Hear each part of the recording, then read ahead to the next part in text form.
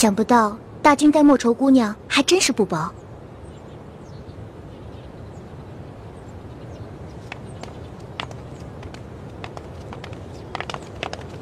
干什么呢？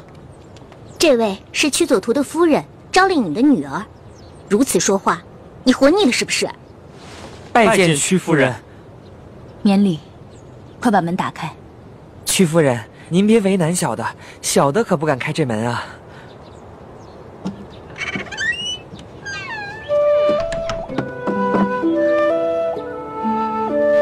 屈夫人，岂有此理！这偌大的楚王宫都进得来，唯独你们这里不能进了。如今这已是冷宫，请屈夫人恕罪。既然如此，也不必勉强。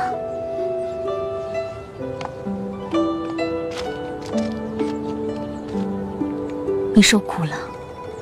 如今大战在即，能躲在这里，也算是多了几分清静。或许，当初你真不应该进宫。这都是定数。以前我不相信命，但是现在我信了。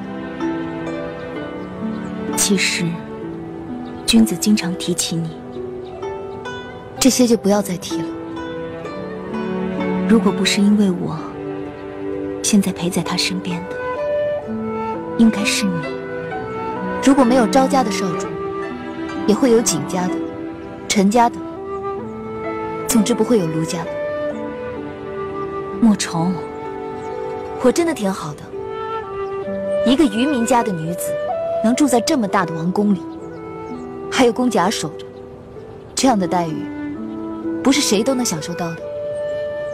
莫愁，你别这么说。姐姐啊，你身子还没好利索呢，还是早点休息吧。莫愁，你生病了？放心，死不了。青儿。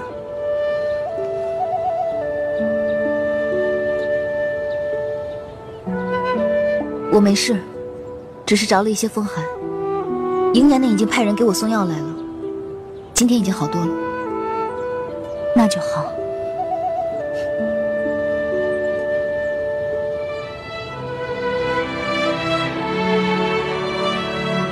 既然这样，那我先回去了。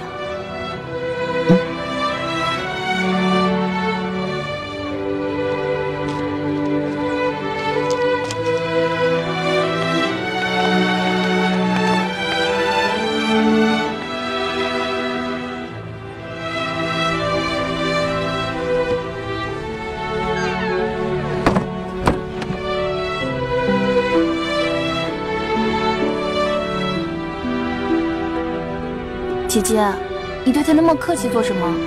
他可是抢走了你屈夫人的位子。啊那都是过去的事情。